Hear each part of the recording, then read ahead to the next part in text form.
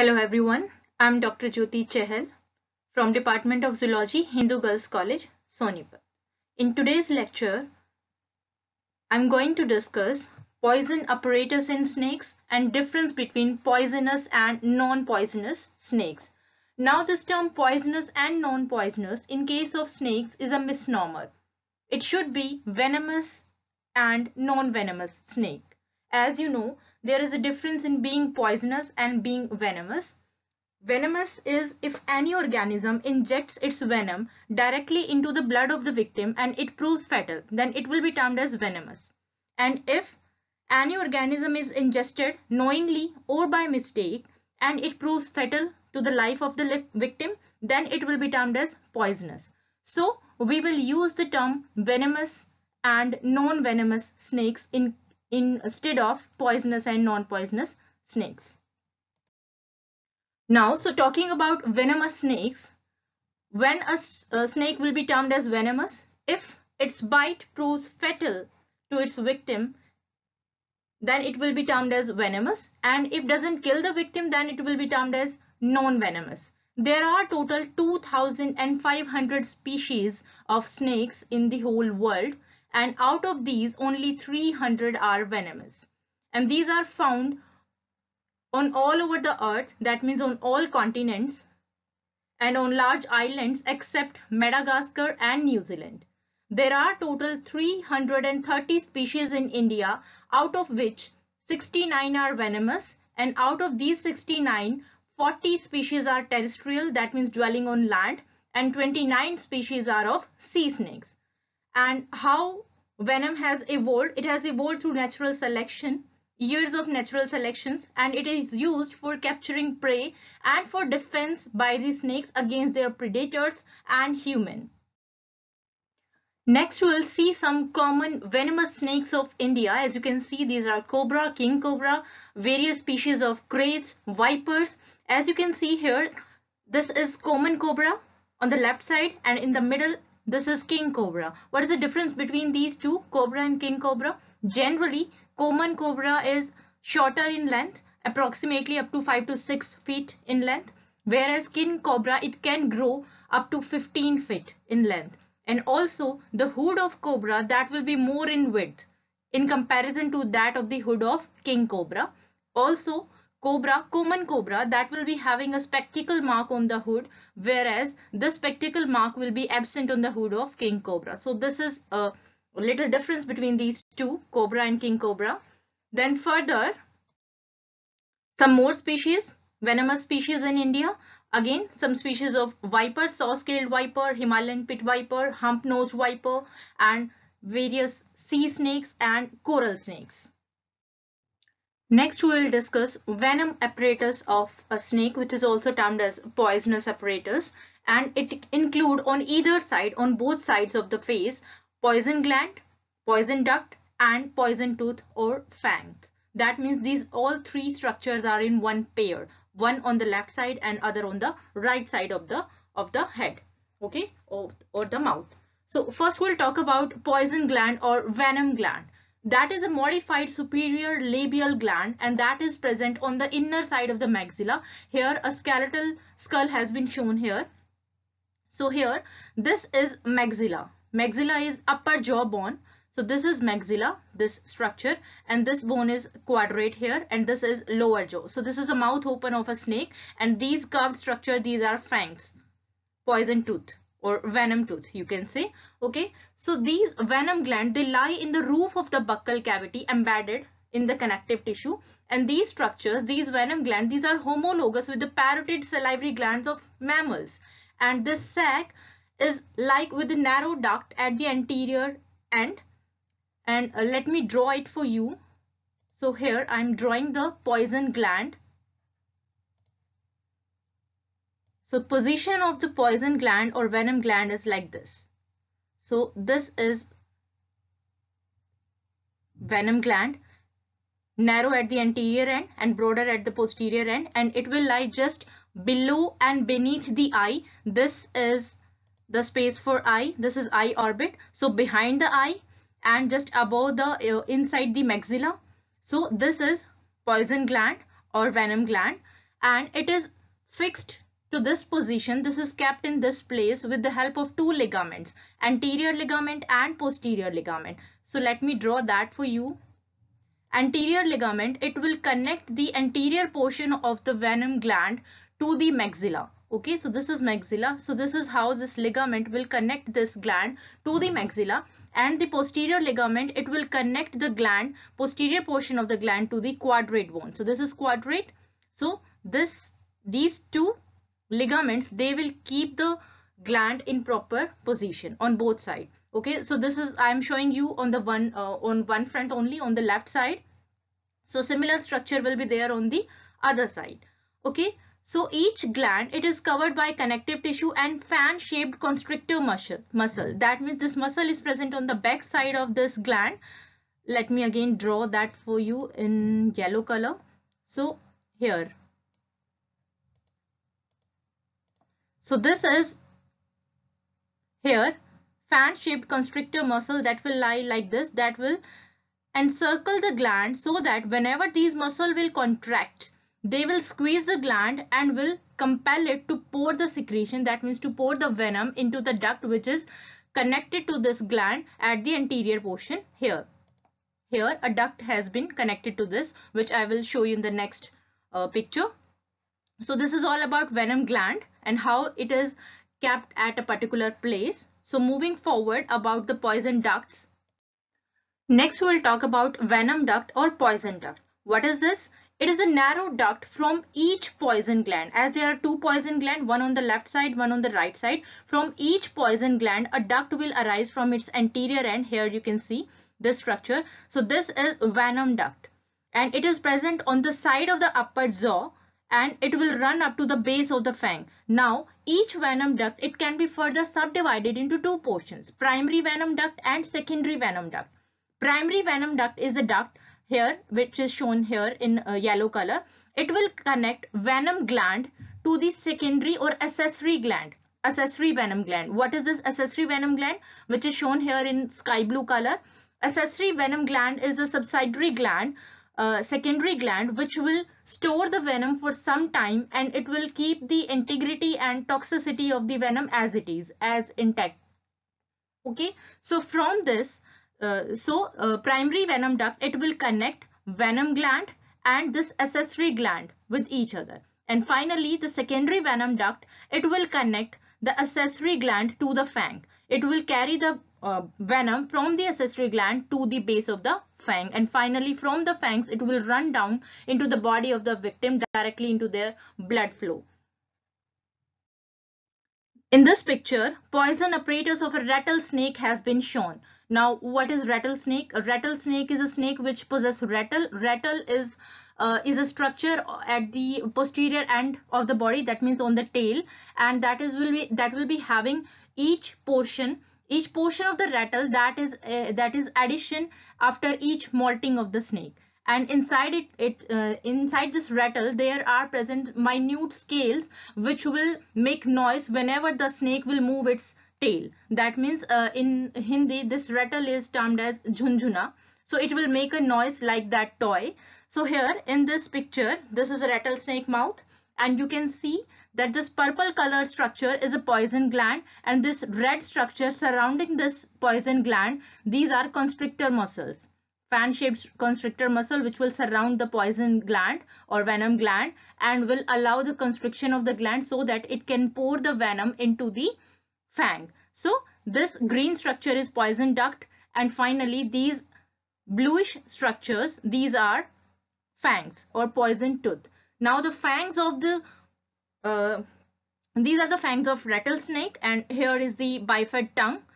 So moving forward in this picture head of a pit viper has been shown which is showing its fangs. So these purple colored structures these are fangs of pit viper and the fangs of pit viper are known to be the largest among the snakes.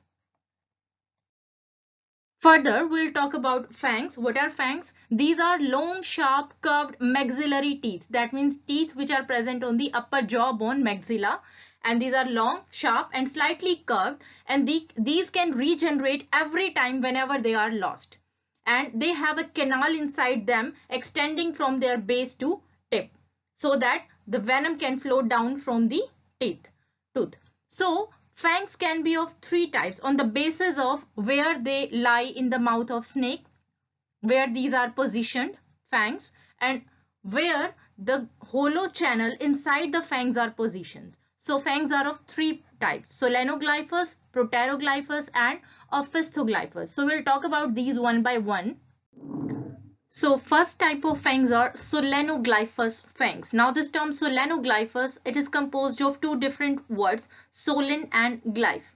Solens means pipe and glyph means hollowed. That means a hollowed pipe inside the fangs. So here, see in this picture, this is longitudinal section of a solenoglyphous fang and inside it, this blue structure is the hollowed pipe. That means poison canal or venom canal through this, venom will flow down to the uh, to the uh, site of injury in the body of the victim. So here is a discharge point and here is the upper point intake aperture which is connected to the poison duct or venom duct. So this black structure is a pulp cavity as you also know that uh, happens to be occur in uh, mammalian tooth and this yellowish structure is dentine which is covered by enamel and this structure is transverse section of the uh, solenoglyphous fangs. So here you can see that poison canal, it has been placed exactly in the middle. This is hollowed structure through which the poison or venom will flow down to the body of the victim. And this black structure is a pulp cavity which will provide nourishment to the uh, fang and uh, blood supply and nerve supply. And here this yellow structure is the dentine which is covered by enamel layer. So this is the structure of solenoglyphous fang and these fangs these are known to be the largest among the fangs and these are foldable as they attach to the jaw of the snake by a hinge joint which can be folded in one direction so they can fold inside the mouth of the snake. And these are the longest type of teeth in the maxilla. Maxilla is the upper jaw bone and these are present at the anterior margin of the maxilla and these are foldable fangs and these are capable of injecting venom deep into the body of the prey because of their large size. And solenoglyphous fangs these are found these are found among vipers. So here you can see these are vipers and rattlesnake. Here is a rattle of the snake which i was talking about jhunjhuna so they make a noise so that they can make their predators away uh, to stay away from them so moving forward to the next type of fangs that are proteroglyphous fangs. Again, this is composed of two different words, protero plus glyph. Glyph means hollow, protero means first. That means hollowed from the anterior portion. Here, you can see in the longitudinal section here. So this yellow structure is uh, dentine and which is covered with enamel of course and this blue structure is the duct hollow duct hollow channel which is present on the anterior face of the fang. Now these fangs they remain permanently erect. These are not foldable. They can't be folded inside the mouth. So these will be smaller in size. And these are short. And these are present again at the front end of the maxilla. And there are smaller teeth behind these. So here you can see this is uh, the skull structure of a black mamba and this is mama, mamba, black mamba and that is a poisonous snake and that is having proteroglyphous fangs. So here this is poison gland or venom gland that is having hollow fangs. So here you can see these are two fangs and behind these two fangs there are another pair there is another pair which is termed as replacement fangs. That means if because of any injury or any mishappening if these fangs they they break down then these replacement fangs they will replace these. So i was talking about that earlier in earlier slides that these are always replaced fangs. Okay so this is how these are attached and behind these Smaller teeth which are all alike in structure and size are also present on the maxilla. So here you can see another simple teeth are also present in the mouth of snakes. So this is Proteroglyphous fangs and these are present in black mambas and mambas are mambas are uh, known for their fastest speed among the snakes in the world. They can run up to 12.5 miles per hour. So that is a huge speed. So another uh, snakes which possess proteroglyphous fangs are kraits, sea snakes, coral snakes and cobras. In cobra cobra you can see these are fangs. These are proteroglyphous fangs. These can't be folded. They always remain erect. So moving forward up to the next category that is ophistoglyphous fangs. That ophistoglyphous is again composed of two different words. Ophisto that means behind and glyph means hollow that means a hollowed structure which is present behind. Again that is that also uh, tells about the position of the fangs. These fangs are present behind in on the maxilla that means these are not present on the anterior face as the previous two fangs So, solenoglyphous and proteroglyphous these are present at the anterior end of the maxilla but these are present at the posterior side of the maxilla here you can see these are demarcated here in this uh, red circle so these are fangs so these are not at the anterior end. Anterior end there are other smaller teeth which, which are non-poisonous uh, which do not have any duct inside them. So these are normal teeth. These are not fangs. So these are fangs and these are of his toes in their position. That means at the posterior portion of the maxilla. Also ophisto word also describe the groove which is present inside these fangs.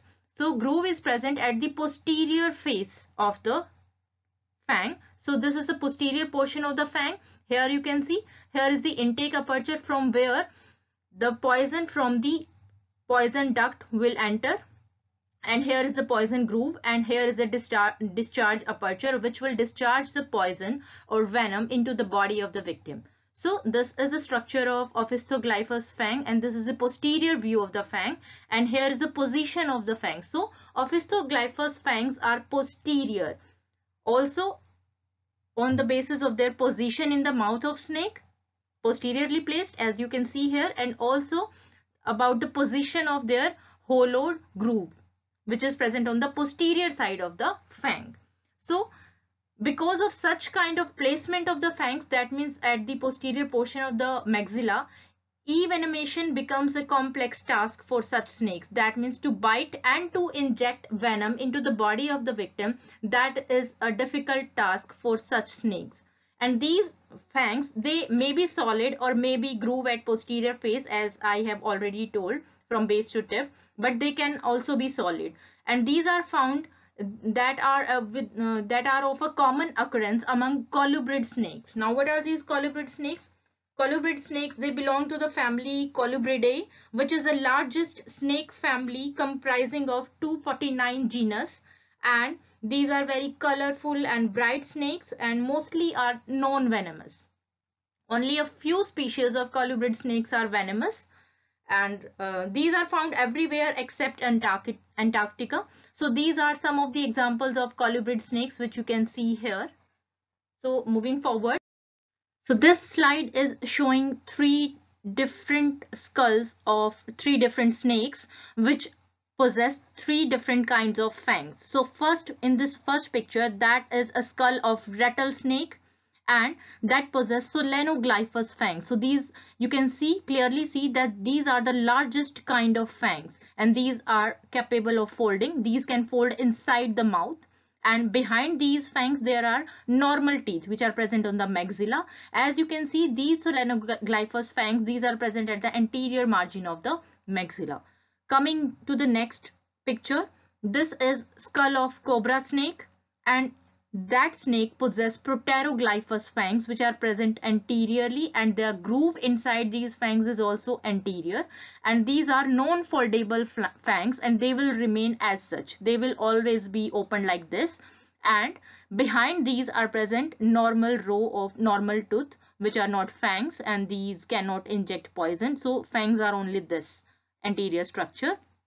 Then moving forward the third picture is of a colubrid snake and that possess of ophistoglyphous fangs and which are present at the posterior margin of the maxilla. So this is upper jawbone maxilla and posterior margin of the maxilla it possess ophistoglyphous fangs. Again the uh, the hollow structure or duct inside this fangs this kind of fangs is also on the posterior margin posterior face that's why these are ophistoglyphous and these are found in colubrid snakes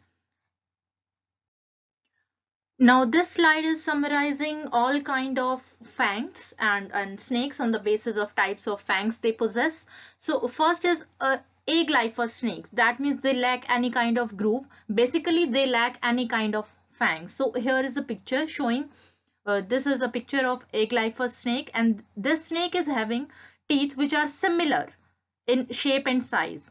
So basically there are no fangs. So all the teeth are solids and there is no hollow duct inside them which can transmit the poison from the poison duct to the victim. So basically these snakes are non-poisonous or non-venomous and their tooth can vary in size but not in shape. There can be small or large uh, tooth in the mouth of such snakes but their shape will be exactly similar like in case of some bird eaters. And mostly snakes uh, in this category aglyphous one these will be non-venomous except some which is shown here. This is Thamponus this is mildly venomous only slightly venomous.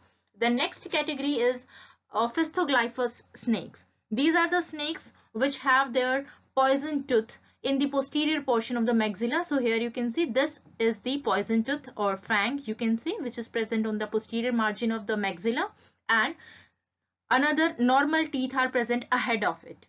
So also this poison tooth, this uh, fang, it will be having a groove on its posterior margin. This is a posterior margin. Here you can see this, there is a groove. This is a groove which will function as a poison groove and from this groove this hollow structure, the poison or venom will flow from poison duct to the base of the tooth. Okay, and these are very small sized tooth or fangs and these uh, are present in Ophistoglyphous snakes and mostly Ophistoglyphous snakes are harm, harmless to men except some like boomslang. This snake is boomslang and that can be fatal to human being.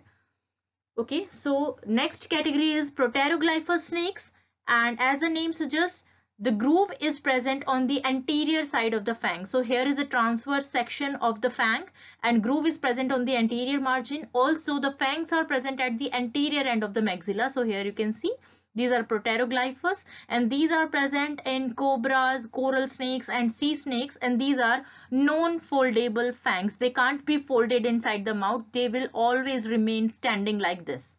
The next category is Solenoglyphous snakes.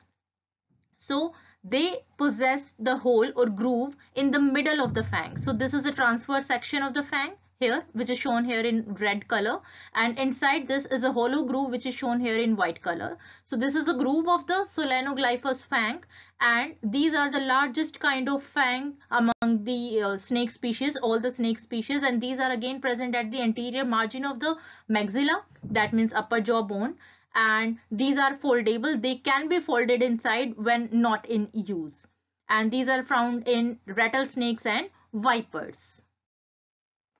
Now we will see the difference between non-venomous snakes and venomous snakes, the possible differences.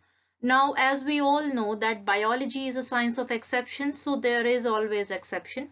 So in this slide it has been shown, it has been stated at in several books and on internet that these are some of the differences among these two kind of snakes but let me explain it. If the snake is having elliptical head as shown here then it will be non-venomous. It it was said so. And if the snake is having triangular head like this one broader at the posterior end and narrower at the anterior end and connected to a narrow neck behind then this shape is termed as triangular and the snake would be venomous. But that is not the case every time. Like uh, if you uh, if you count on copperhead copperhead is a snake species which is having triangular head but that is not venomous. So it is not always true. Okay then come to the color. If the snake is dull colored like like this one then snakes will be then snake will be non-venomous. And if it is brightly colored like this one then it will be venomous. Again it is not true. Like colubrid snakes majority of the species of the colubrid snakes are brightly colored but these are non-venomous. And on the other hand there are certain poisonous or venomous snakes which are dull colored like brown colored cobra or rattlesnakes which are sand color and these are not brightly colored but these are venomous so this is not always true. Then another point is that non-hooded snakes will be non-venomous. Now again this is not true except cobra and king cobra. Any other snake is, is not hooded but still there are poisonous snakes like rattlesnake, like, like kraits. So if the snake has hood then it will be venomous. Again it is not true. Here you can see this is a cobra which is hooded. This is hood. Hood means in Hindi you can call it fun okay? So all the snake species which has hood will be termed as venomous. Again there are water snakes which which basically they do not have a hood but uh, when they uh, come across any danger they will inflate their head in such a manner that, that they will appear to have a hood. And they look like these are hooded. So that will give a false impression of them being venomous. But these are not venomous. Water snakes are not venomous. Okay next if we talk about loreal pit. If loreal pit is absent now what is loreal pit? This is a heat sensing pit which is present between the eye and the nostril. This is eye and this is nostril. In between these two structure there will be a pit like structure. That means a third opening in between these two structure. That will be termed as loreal pit which is a heat sensing pit which will help the snakes to keep their body temperature at a particular level to maintain their body temperature and also to find out prey and predator in their surrounding because generally prey of these snakes are mammals which are warm-blooded or birds which are again warm-blooded so they can sense their body heat with the help of this loreal pit and can locate their prey. Also they can locate their predator. Again predator will be of uh, either mammal or from aves both of these are warm-blooded. Again uh, using the same technology the loreal pit and heat sensing capability they can detect their predator in their surrounding. So if loreal pit is absent then the snake will be termed as non-venomous. Again this is not true because vipers they do not have pit okay? And and rattlesnakes they do not have pit but these are venomous. Also any snake that is having a loreal pit that means a pit between eye and nostril. Here you can see this is loreal pit. Then it will be uh, venomous. Then okay that is true. If any snake that is having loreal pit that will be venomous. And generally these are termed as pit vipers because of the loreal pit. Okay. Another difference is rounded pupil. So here you can see this snake. In the eye of the snake the pupil is rounded. This black structure you know pupil okay so the pupil is rounded. So all the snakes which have rounded pupil are termed to be non-venomous. And the snakes which have vertical pupil so here you can see cat's eye like okay. So that is vertical pupil and that will be termed as venomous. Again this is not true because there are certain venomous snakes at the time of night they will expand their pupil and it will become circular. Although in daytime that will be vertical but during night it will be circular. So what that what that concludes? That at the night time they will be non-venomous? No. Okay so that uh, there is another species ball python which is having vertical pupil but that is non-venomous. So again that is not true. So next is poison bites. So you can see so that is uh, okay that is an okay okay difference. You you can rely on that. So here is how a non-poisonous non-venomous snake bite look like. There will be multiple marks of small teeth and that can be one row or that can be uh, in double row. So here there are uh, there is double rows of that marks.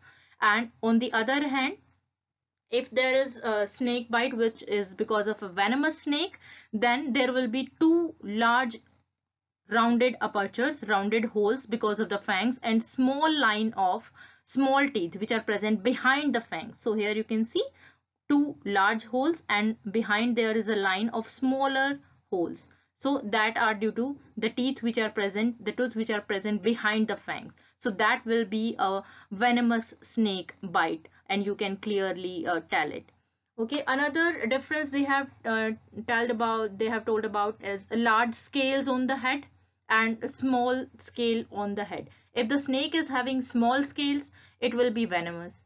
And if the scales on the head are large which will be termed as shields as you can see okay so these are large shields then snake will be non-venomous. Again not true. There are certain snakes which are having triangular head and having smaller scales but are not poisonous not venomous. Whereas there are uh, snakes which are having larger shields on their head and still are venomous like like kraits okay so there are combinations of factor which we should utilize to know whether the snake is venomous or non-venomous. So based upon a single factor whether the head is elliptical or the scales are small or loreal pit is present or not we cannot decide whether a snake is venomous or not we should take into account several factors in combination to tell whether a snake is venomous or non-venomous okay so there are certain there is a certain key uh, factor, there are key factors, specific keys which we can follow to tell whether the snakes which we have are venomous or non-venomous. So here are the keys for identification of venomous snakes. So we will talk about the combinations of different characters which we have talked in previous slide. So first of all, we'll see the tail of the snake. If the tail is flat and is laterally compressed, then the snake will be venomous and it must be either sea snake or, or coral snake. And if the tail is cylindrical, then it would be a land snake and it can be venomous or non-venomous. So we have to see further more characters. So then we will move to the ventral scales. That means scales which are present on the ventral side. That means on the belly side. So these three pictures, these are showing the belly of the snakes. How different it can be and what does that mean. So if the scales are small on the belly, just like on the dorsal side, as as the scales are on the back, if the similar kind of small scales are present on the belly, then the snake will be non-venomous. Okay, one case. If the tail is cylindrical, but the scales on the ventral side of the belly will be smaller, then the snake will be non-venomous. And if the middle line of the scales is slightly elongated, as you can see, these are shown here in yellow color. These are termed as ventral.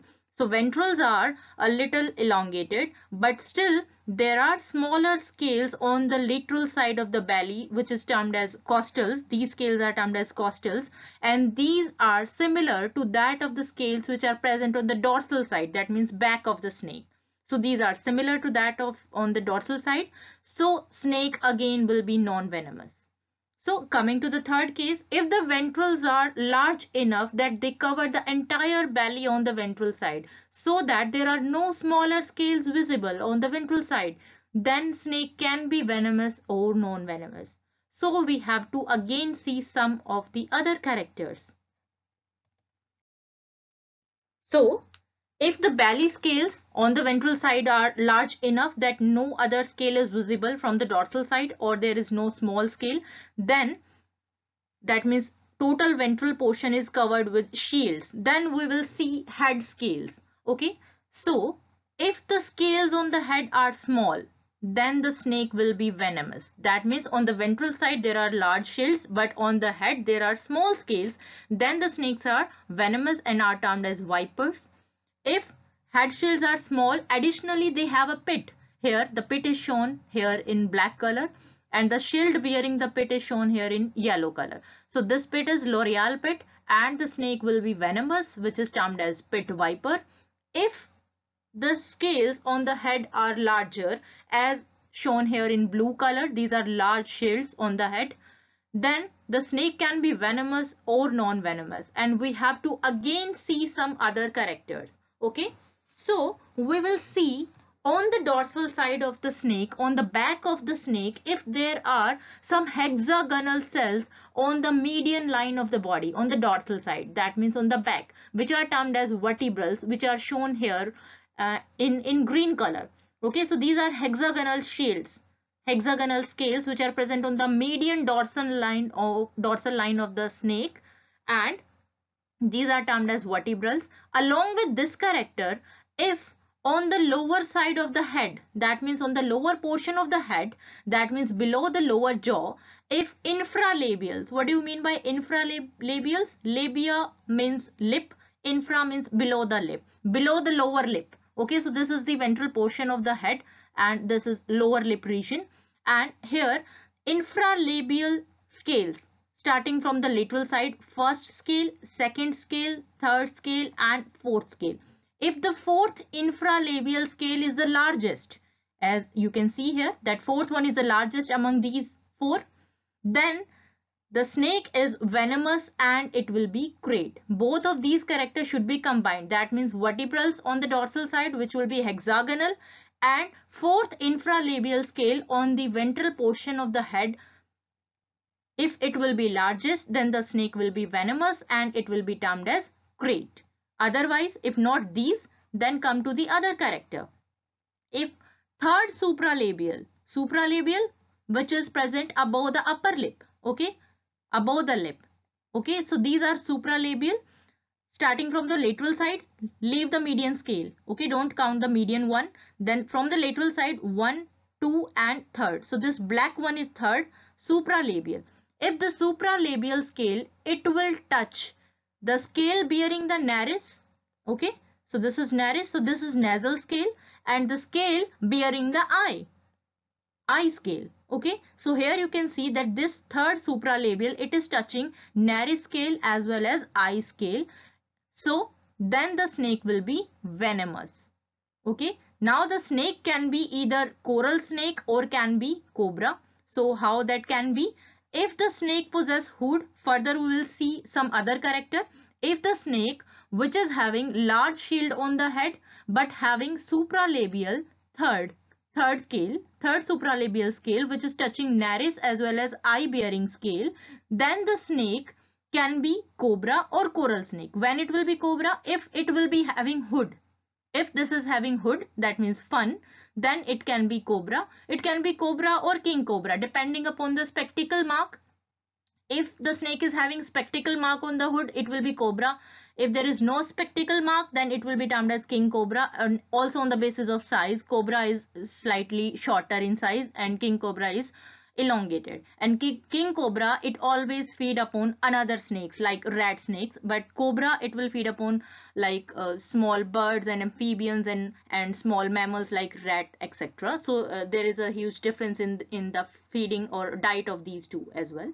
Also, if the snake which is bearing this third supralabial shield which is touching the two shields which are bearing nasal and uh, nasal spot or nares and eye if that is having spots on belly if that doesn't have hood but have spots on the belly on the underside of the abdomen then that will be coral snake okay and if head has large shield but none of these character is present then the snake will be non-venomous now some very short answer type questions. Are coral snakes venomous? Name the snake which have loreal pit. Poison glands are modified dash glands. If a snake is brightly colored with triangular head, will it necessarily be venomous? What is the function of loreal pit? Name the snake which has large shields on head and hexagonal vertebrals on back. Will it be poisonous? Name two snakes that have solenoglyphous fangs. Name the largest family of snakes. Are water snakes poisonous? How many ligaments support poison gland of a snake? Short answer type questions. Are snakes poisonous or venomous? What will happen if a snake accidentally ingests its own venom with salivary gland secretions in its mouth Will it die? In a fight between two venomous snakes, if one bit the other, which snake will die? Write a note on poison apparatus of snakes. Explain the types of fangs of snakes. Differentiate between venomous and non-venomous snakes. And how one can differentiate between cobra and king cobra. And here is an example of venomous snake with all the characters like the snake is having vertical pupil. You can see here in the eye. The snake is also having loreal pit. Here is eye and here is nares and in between these two there is additional pit-like structure which is loreal pit, heat sensing pit. This snake is also having small scales on the head. You can see scales are very much small and this snake is also having vertebrals which are large and covering the whole belly. You can see there is no small scale visible on the ventral side of the belly. So these are enlarged ventral shields. So that means this snake is poisonous. As there is pit, that means this is a pit viper and this is a green pit viper. Thank you.